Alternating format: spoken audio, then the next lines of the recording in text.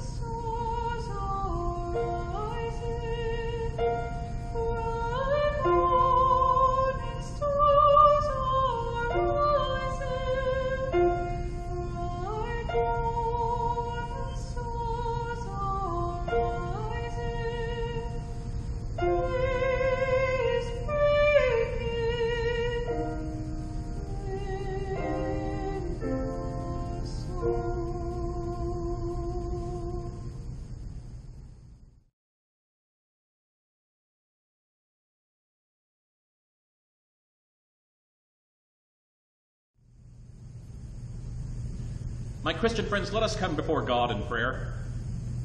Gracious God, once again we come before you seeking the inspiration, the illumination that comes by the power of your Holy Spirit. May your Spirit interpret your word for us, that your written word will become your incarnate word living within us, abiding in us, taking root and engrafting itself to our souls, that we may have within us the same heart and mind that was in Christ Jesus. Speak to us your word, that we may be so transformed in the renewing of our minds, that we may go forth into the world as new creations, so that all might know the kingdom of God through us by our love and by our faith.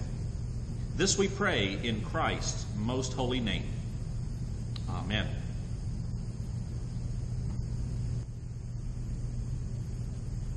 Our scripture lection for this morning comes from the Gospel according to St. Luke, chapter 14, verses 25 through 33. In this passage, Jesus and the disciples are still on their way to Jerusalem, and it seems the closer and closer Jesus gets to Jerusalem, the harder his statements become. In this situation, he'll witness his own popularity as people are following him. And instead of, of feeling the success of his ministry by such popularity, he ends up telling the people who are following him that the cost of discipleship is probably more than they're thinking, that they need to step back and consider the cost of following him, the cost of taking up the cross, the cost of being a disciple. They need to consider it because Jesus is not upset if people don't follow him. He just wants them to know that if they do, it's costly. This is a message from Jesus himself, my Christian friends, that you and I probably don't want to hear. I may be preaching a sermon today from this passage that you and I don't want to hear. That said, my Christian friends, listen for the Word of God.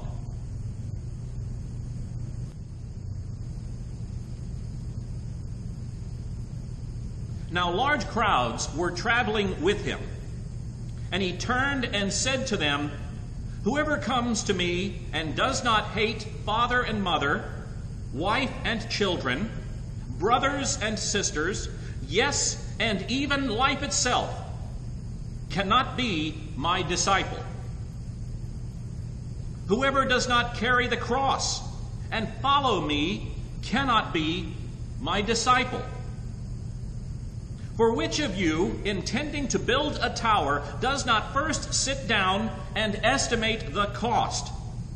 To see whether he has enough to complete it.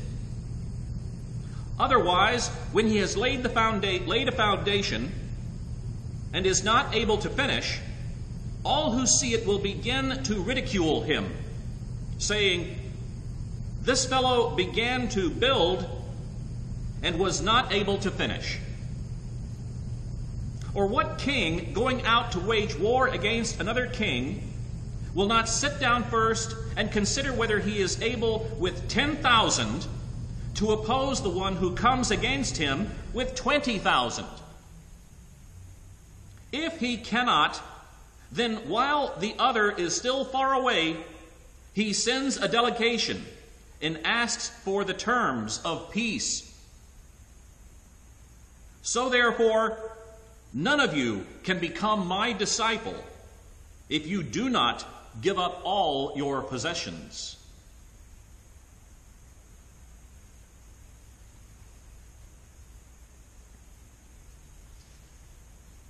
Amen, and may God give us to understand this reading of His holy word. This is the word of the Lord. What tough words, my Christian friends.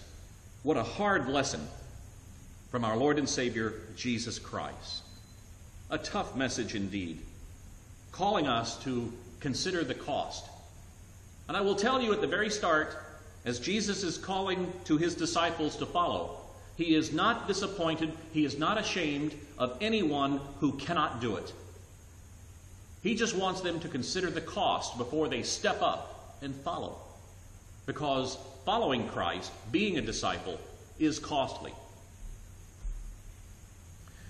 Have you ever made a commitment? I bet you have. Have you ever made a commitment to an organization or to a committee without first finding out all that would be expected of you, my Christian friends? Uh, I'm going to say to you, in the life of the church, I'll bet that happens to you often. If you've served on the session, if you've served on the board of deacons, you probably say to yourself once you're in it, I didn't think it was going to be this way. I didn't realize that there might be a little bit more involved than just having my name voted on in the congregation. No, there's, there's more of a commitment. And, and you know that we've done this in our lives. We may have joined clubs or gotten involved in organizations without realizing the cost, what it, what it requires of us when we get into it. I mean, uh, have you ever uh, gotten caught up in, in joining a book club? Uh, now, I don't know if book clubs are very popular these days, but they certainly were when I was a young man. Uh, joining a book club sounded like a great idea when I was a young person because I was a voracious reader. I would love to have some new books. But then I discovered how difficult it was to get out of the book club because you didn't read the fine print to find out what is involved. Those books just keep coming and coming and coming, and they expect you to pay for them. Jesus warns those would be followers about the cost of discipleship. It, it, it, bothers me all too often, many times, all too often.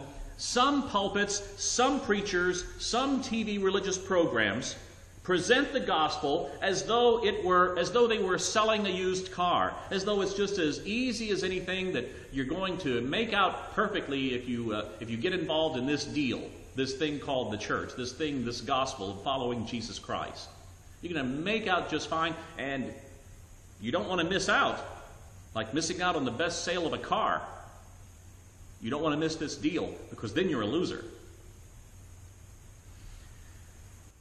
No, my Christian friends, these persons, these, these, uh, these pulpits, these preachers, these religious TV programs, they make it sound, they make the church sound like it's, it's easy as, um, as, as anything as though no real commitment is required. All you have to do is just, just confess in your heart that Jesus Christ is your personal Savior, is Lord and Savior.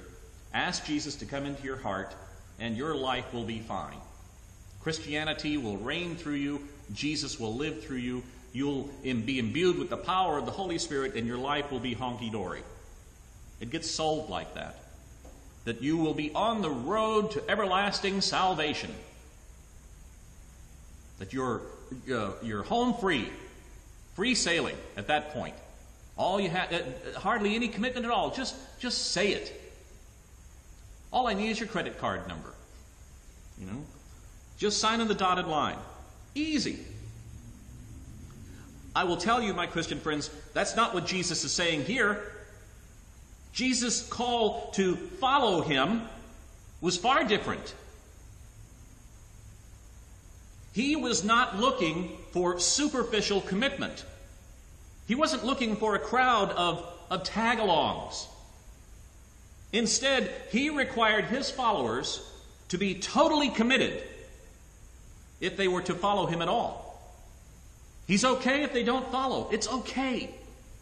Because he knows what the cost is. The cost is taking up the cross. The, the cost is a complete change of one's values and priorities. He knows this. And that commitment is hard.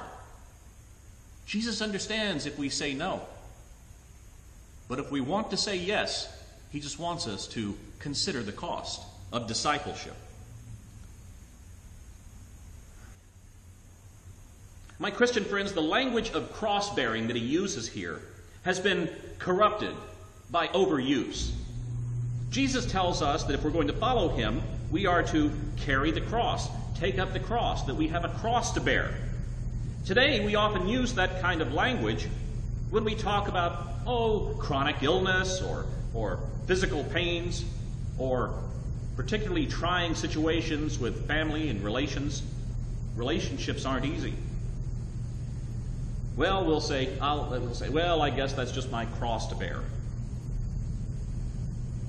That's just my cross to bear. These situations are not what Jesus is talking about when he calls us to bear the cross. to take up the cross for Him. These situations of daily living, of the various problems we have, we all have them. These various problems in life are situations that we don't face deliberately. When we say that, that uh, this particular ailment, I'm, I'm, dyslexic. I have a reading disability. I have since I was uh, just a, a, young kid. I was taken out of school uh, in the fourth grade for an entire year for special education because of that learning disability. And I still have it. I don't, I don't feel embarrassed much by it anymore because I admit I have a reading problem. I love reading. I read voraciously, but I read slowly. I have a reading problem. I'm dyslexic. I could easily say, that's my cross to bear. But that's not what Jesus is talking about when he talks about bearing the cross. The cross which Jesus would have us bear is what we would do voluntarily, not something that is imposed upon us by conditions that we excuse me, by conditions that we can't help. No, the cross that we bear are those that we take on ourselves, not those that are put upon us by physical ailment or other situations in life that are beyond our control. The true cross bearing is what we voluntarily do as, as a consequence of our commitment to Jesus Christ. When we commit to Jesus Christ voluntarily, we have a cross to bear, my Christian friends. Cross bearing requires deliberate sacrifice. Cross bearing requires exposure to risk and ridicule in order to follow Jesus.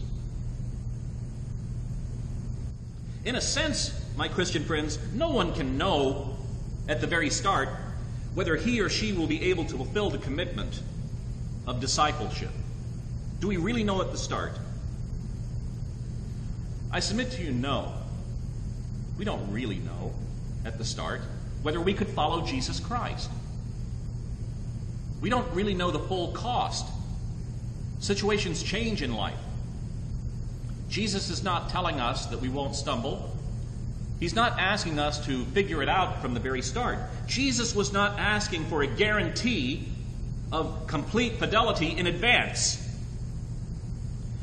If he had been asking for that, no one would qualify to be a disciple because none of us could afford it. The cost would be too great.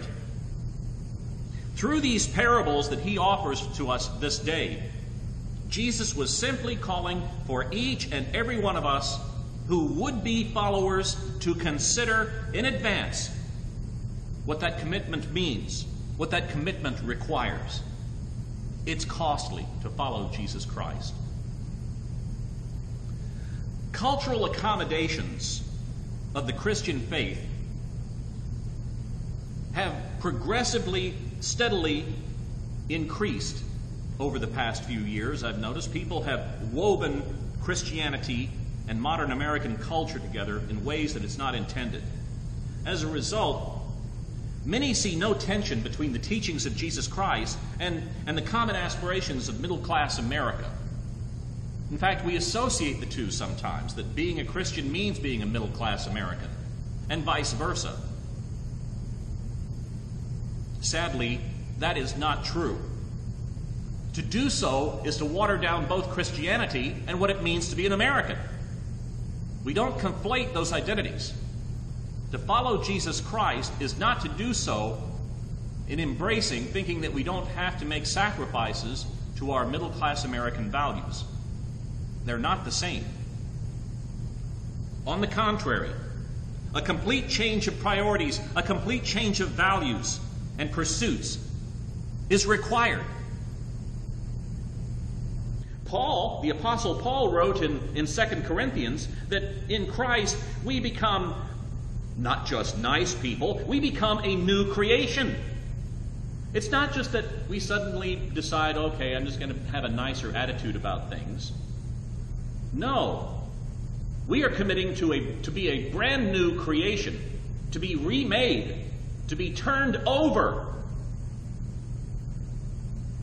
In Christ, we're not just good people, we're a brand new creation, the Apostle Paul says. When Jesus turned and saw the crowd following him, he was not impressed by his own popularity. He wasn't impressed by his success. He was not interested in a casual, easy acceptance which the crowd offered. That's not what he was interested in. His eyes are set on Jerusalem, his eyes are set on the cross, his eyes are set on the cost of saving the world. His eyes are set on the cost of making the kingdom of God a reality in this sinful and broken world. His eyes are set on a Jerusalem which calls us to take up the cross, the cost of discipleship. You know, that in, the, passage here, it does say those, those interesting statements how much we have to hate our, our family, our friends, our relationships, even life itself, how we have to give up our possessions. What he's saying, give, uh, are tough statements and have to be taken darn seriously, my Christian friends. Giving up our possessions means to be ready to sacrifice all attachments to this world in order to follow the kingdom of God in Jesus Christ. The cost of discipleship is paid in many different kinds of currency for each and every one of us. For, for some of us, it's a redirection of time and energy that is required of us. For some, a change in personal relationships is required. For others, a change in our very vocations, our jobs, is required. Still others, a change in a commitment to our financial resources is required. No matter what it may cost some of us, every one of us called to discipleship, the commitment is all consuming. There are no part time disciples, my Christian friends. A complete change in priorities is required. I don't want to hear this. You don't want to hear this. Discipleship is costly. That's what Jesus is saying. At least he's being honest, my Christian friends. Jesus isn't running a book club. Jesus is not asking for your credit card number where you can purchase the convenience of Christianity and have cheap grace for getting into heaven. He does ask us to follow. He's not ashamed to ask. He just wants to make sure that you know that what he's asking for is no light matter. It's been said to me on some occasions that uh, we should be cautious in asking for people to volunteer to do various things in the life of the church. And admittedly, that's true. But I am also in the line with Jesus that I think it's okay for people to say no if they want to, without any judgment or preconceptions. Only they know whether they can afford the cost of volunteering to do this or that program. Sometimes, however, people assume that, that the, the church needs to operate by, uh, from the top down, with the pastor, the DCE, the music director, the office manager, I can tell you, honestly, my Christian friends, we give, but we burn out too. No, the church is not successful from the top down, it's successful from the roots up. It's organic. That's why Jesus uses agrarian parables to talk about the kingdom of God. You're the church. And yes, I'll stand here from the pulpit and I'll ask for people to volunteer for various ministries and missions, various programs in the life of the church. I am not ashamed to ask. You shouldn't be ashamed to say no. All I'm asking when I ask you to volunteer for something, my Christian friends, is just consider the cost. The church, is, the church can be successful not because of the top down powers, but because of each and every person who makes up the kingdom of God, you and me. Yes, it is costly. Weigh it and figure out how much of yourself you can give to following Jesus Christ, knowing there's no judgment and how much or how little you can commit. Because it is costly. I know this. It can cost our family. It can cost us relationships. It can cost us our jobs. It can cost us time and energy. It can cost us our very being to become transformed into being a new creation. As I said from the very start, this is a tough message from Jesus Christ, what he says to these disciples. All he's saying is this, my Christian friends there's no such thing as part time discipleship. There are no partial commitments that can be accepted if we follow Jesus Christ.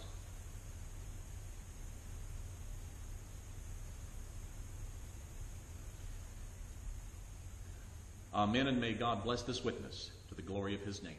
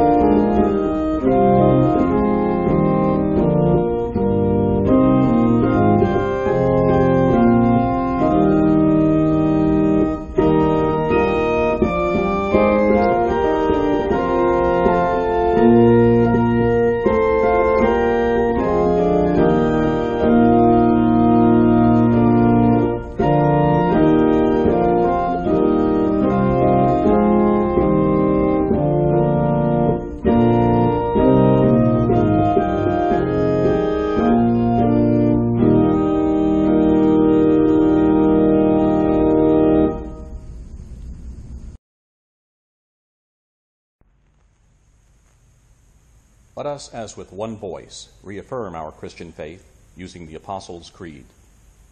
I believe in God, the Father Almighty, creator of heaven and earth.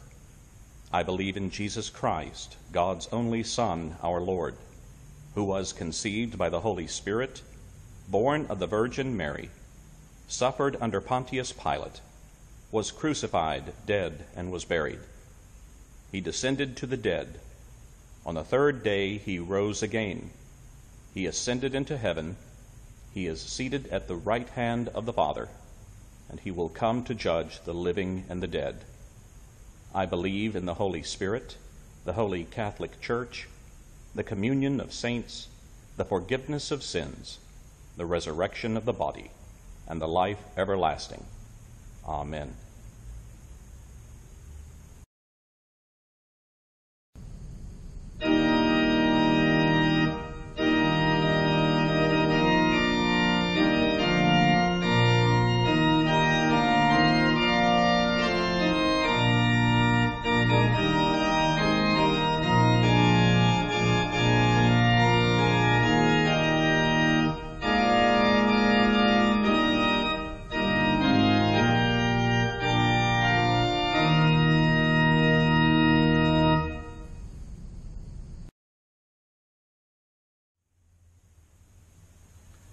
My Christian friends, let us come before God in prayer. Gracious God, we are aware that the cost of discipleship is great. Many times, all too often, it is sold to us, perhaps as a bill of goods, sold to us as easy religion, as cheap grace, as nothing more than the assurance that we are on the road to heaven and that nothing more is required. We pray that you will lift us up from our complacency and that you will remind us that we falter and fail all too often when we follow Christ. Remind us in the words that we have heard from your Son this day that we are called to consider the cost.